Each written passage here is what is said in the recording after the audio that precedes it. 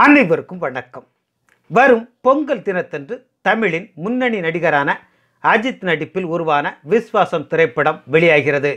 அதற்கு இன்னும் சில தினங்களே உள்ள நிலையில் தற்போது வரை தமிழ்நாடு இதர மாநிலங்கள் மற்றும் ஓவர்சீஸ் உட்பட மொத்தம் அறுபத்தி இரண்டு கோடி ரூபாய்க்கு வியாபாரம் பேசி முடிக்கப்பட்டிருப்பதாக தகவல் வெளியாகியுள்ளது.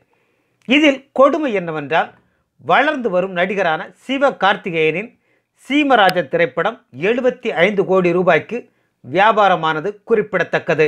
இது திரைத்துறையினரிடையே பெரும் ஆச்சரியத்தை ஏற்படுத்தியுள்ளது. சினிமாவுக்கு வந்து சில வருடங்களிலேயே அஜித்தை வீழ்த்திவிட்டார் சிவ கார்த்திகேயன் என்கிறார்கள் விஷயம் அறிந்தவர்கள்.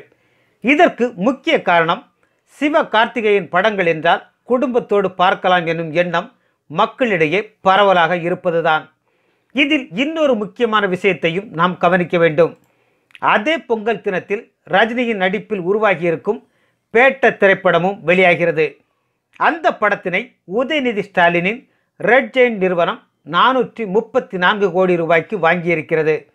தமிழகத்தில் மட்டுமே இருநூற்றி இருபத்தி இரண்டு கோடி ரூபாய்க்கு வியாபாரம் ஆகியுள்ளது.